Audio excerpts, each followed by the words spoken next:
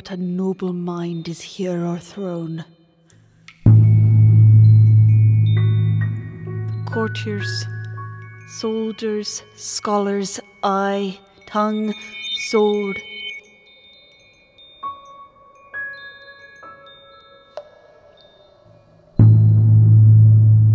The expectancy and rose of the fair state, the glass of fashion and the mould of form. Observed of all observers, quite, quite down.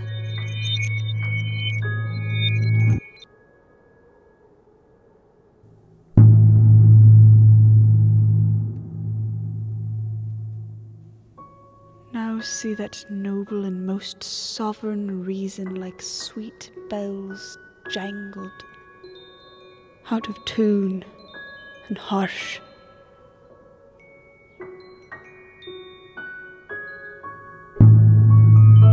Unmatched form and feature of blown youth, blasted with ecstasy.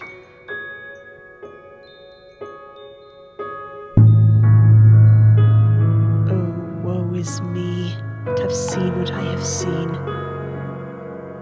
See what I see.